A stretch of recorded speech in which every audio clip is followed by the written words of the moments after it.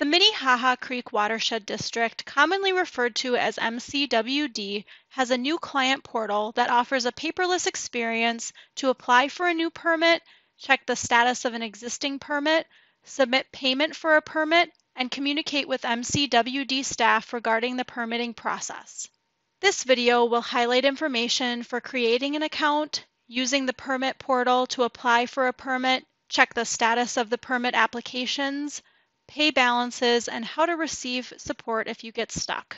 To create a new account, select the Create an Account link from the initial login screen.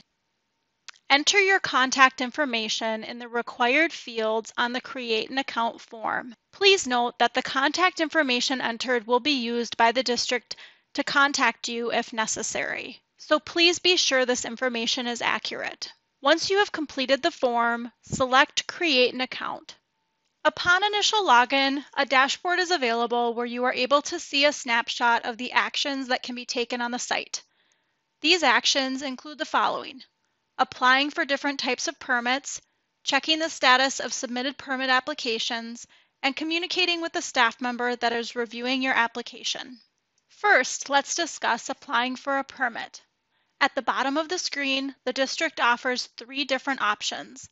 Wetland Conservation Act, permit application for a district permit, and district pre-application.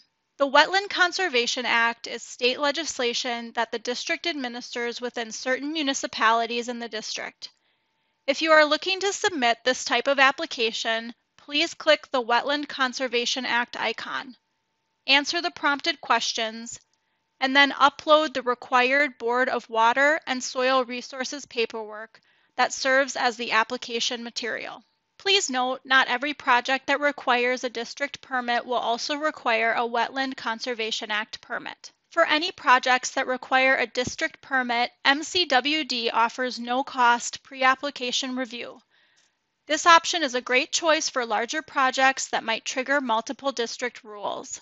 To request a pre-application review, please click the pre-application icon, answer the prompted questions, then upload site plans and associated project memos.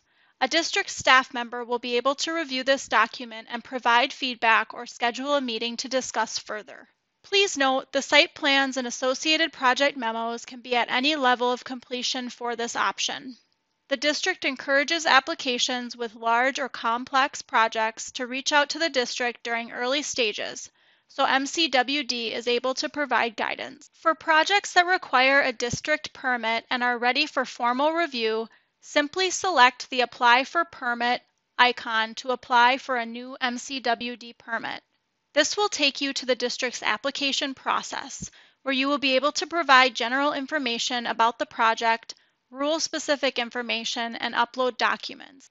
As you follow the question prompts through the application process, the system will utilize your entered data as well as GIS, Geographic Information System, natural resource data to help narrow down and determine what district rules will be applicable for your project. As you move through the question prompts, there will be a number of pop-up texts to provide you definitions and rule-specific information to help you along. Once a permit application is submitted, you can check the status by selecting the permit application located under Open Requests. Here you can view the permit number, the name of the staff member reviewing your project, the review status, and a summary of both the district rules applicable to the permit and the information submitted during the application process. In addition to checking the review status, you are able to contact the MCWD staff member reviewing your permit directly. You can make a permit payment by selecting Pay Balance. If you need additional support, you can call us at 952 641 4532 or email permitting at minnehaha Thank you.